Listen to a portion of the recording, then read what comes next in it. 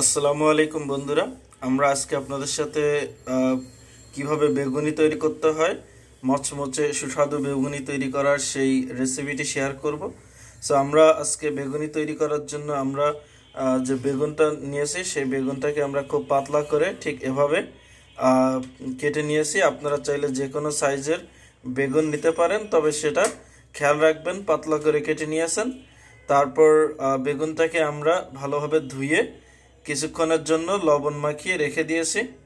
So আপনারাও কিছুক্ষণের জন্য লবণ মাখিয়ে রেখে দিবেন, তাহলে যখন বেসনটা এর গায়ে লাগাবেন, ভালোভাবে লাগবে এবং টেস্টটাও ভালো হবে। এখন বন্ধুরা, আমরা এক কাপ পরিমাণ বেসন একটি চালনি দিয়ে ভালোভাবে সেকে নিব, যাতে এতে কোনো ধরনের লাম্পস না থাকে।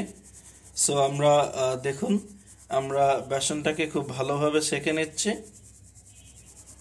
সো দেখুন বন্ধুরা সেকে নেওয়ার কারণে আমরা এই যে লাম্পসগুলো ছিল, এটা ভালোভাবে আমরা দেখতে পাচ্ছি। সো আপনারা যদি ভালোভাবে লাম্পসগুলো এভাবে মিশিয়ে নেন, তাহলে খুব ভালো হবে। তো বন্ধুরা, আমরা ঠিক এভাবেই আমাদের বেসনগুলোকে সেকে নিয়েছি এবং এতে আর কোনো লাম্পসও নাই। এখন আমরা এটির সাথে এক এক করে শুকনো উপকরণগুলো মিশিয়ে নিব। সো এখন আমরা হাফ টি স্পুন পরিমাণ বেকিং পাউডার নিচ্ছি। এখন এক টি স্পুন পরিমাণ কর্নফ্লাওয়ার নিচ্ছি। আপনারা চাইলে এর পরিবর্তে চাউলের আটাও ব্যবহার করতে পারেন। এখন বন্ধুরা, আমরা এটির সাথে স্বাদ মতো লবণ নিয়ে নিচ্ছি। তবে লবণটা আপনারা একটু বুঝে দেবেন, কারণ আমরা আগেই বেগুনটাতে হালকা লবণ মাখিয়ে রেখেছিলাম। তো সেই হিসাবে আপনারা লবণটা স্বাদ মতো দিয়ে নেবেন। এখন আমরা এক স্পুন জিরার গুঁড়া নিচ্ছি, এটির সাথে মিশিয়ে। এক স্পুন গরম মশলার গুঁড়া নিচ্ছি। এর সাথে আমরা নিচ্ছি দুই স্পুন শুকনো মরিচের গুঁড়া। আমাদের ব্যাটারটা তৈরি করার জন্য। এখন আমরা এটির সাথে হাফ টি স্পুন পরিমাণ সাদা গোলমরিচের গুঁড়া নিচ্ছি। আপনারা চাইলে কালোটাও ব্যবহার করতে পারেন। এক স্পুন রসুন বাটা নিচ্ছি।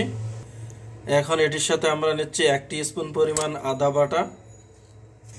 এখন বন্ধুরা, আমরা এটির সাথে পরিমাণ মতো পানি মিশিয়ে ভালোভাবে আমাদের ব্যাটারটা তৈরি করে নিব। এখন বন্ধুরা, আমরা ব্যাটারটাকে ভালোভাবে এইভাবে একটু একটু করে পানি দিয়ে মিশিয়ে নিব। তো বন্ধুরা, এখন দেখুন আমাদের ব্যাটারটা তৈরি হয়ে গিয়েছে। সো আপনারা দেখবেন এভাবে আঙ্গুল দিয়ে যখন এটি উঠাবেন, তখন এটি আঙ্গুল থেকে পড়বে না। এরকম যথেষ্ট লেগে থাকবে আঙ্গুলে।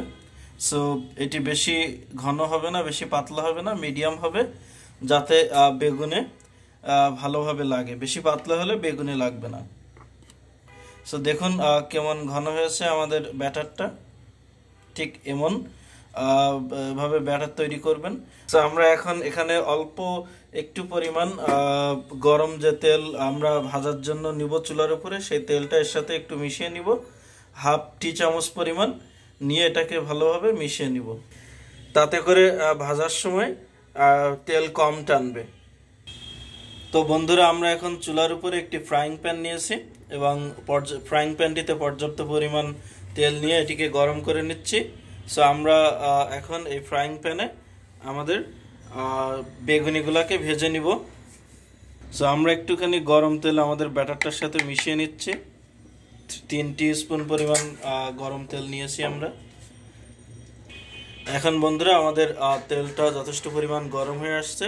সো আমরা এখন বেগুনিগুলোতে ব্যাটার লাগিয়ে এক এক করে আমরা এই গরম তেলে ছেড়ে দিব। তো আমরা আস্তে আস্তে বেগুনিগুলোকে ব্যাটার লাগিয়ে এভাবে আস্তে আস্তে তেলে ছেড়ে দিচ্ছি। আমরা এক এক করে সবগুলা বেগুনি ছেড়ে দিচ্ছি ফ্রাইং প্যানে তো বন্ধুরা, আমরা এক এক করে সবগুলা বেগুনি তেলে ছেড়ে দিয়েছি এবং এটি গোল্ডেন ব্রাউন কালারে ভেজে নিব। সো এটি এক সাইড হয়ে গেলে আমরা এটিকে উল্টিয়ে দিব এবং দুই পাশই আমরা গোল্ডেন ব্রাউন কালারে ভেজে নিব। তো বন্ধুরা, আমাদের বেগুনির এক সাইড অলমোস্ট গোল্ডেন কালার হয়ে আসছে। তো আমরা এখন একটি কাটা চামচের দ্বারা এটিকে আস্তে আস্তে সবগুলোকে উল্টিয়ে দিব আমরা। সো উপরের সাইডটাকে নিচে দিব। সো আপনারা ওইভাবে উল্টিয়ে উল্টিয়ে নেবেন। তো বন্ধুরা, আমরা এক এক করে সবগুলা বেগুনিকে এভাবে উল্টিয়ে দিয়েছি। এখন অপর সাইডটাও গোল্ডেন ব্রাউন কালার হয়ে আসলে আমরা এটিকে নামিয়ে নেব। এখন বন্ধুরা আমাদের বেগুনিগুলি সব দুই সাইডই ভালোভাবে ব্রাউন গোল্ডেন ব্রাউন কালারে ভেজে গিয়েছে সো আমরা এখন এগুলাকে একটি পাত্রে নামিয়ে নিব।